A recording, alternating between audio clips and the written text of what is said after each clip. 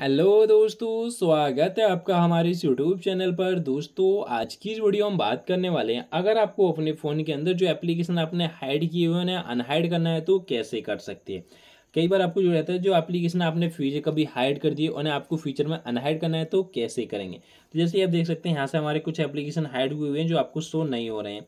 जैसे कि आपको हमारे फ़ोन के अंदर फेसबुक आपको कहीं भी शो नहीं हो रहा है यूट्यूब भी आपको शो नहीं हो रहा है तो उन्हें कैसे शो करा सकते हैं, जो एप्लीकेशन आपने हाइड की हुए ना कैसे अनहाइड करना है?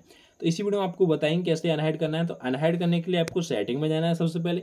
सेटिंग में जाएँगे। सेटिंग में जाने के बाद आपको नीचे आना है। यहाँ से आपको प्राइवेसी का ऑप्शन मिल जाता है। इस पर जाएँगे।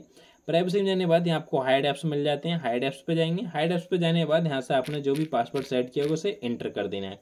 एंटर करने के बाद अब यहाँ से देख सकते हैं, आपके सारे एप्लीकेशन ओपन हो जाते हैं। यहाँ से हम एक एक करके ऑफ़ कर देते हैं।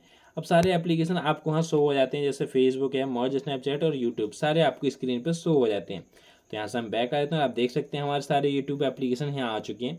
फेसबुक है एमोज है स्नैपचैट और यूट्यूब आपको यहाँ देखने के लिए मिल जाते हैं। और आपको यूट्यूब यहाँ भी देखने के लिए मिल जाते हैं स्नैपचैट तो इस प्रकार से अपने फ़ोन के अंदर जो एप्लीकेशन आपने हाइड किए थे, उन्हें आप अनहाइड करा सकते हैं। तो आई होप आपको वीडियो पसंद आई। और वीडियो पसंद आई हो तो लाइक करें शेयर करें।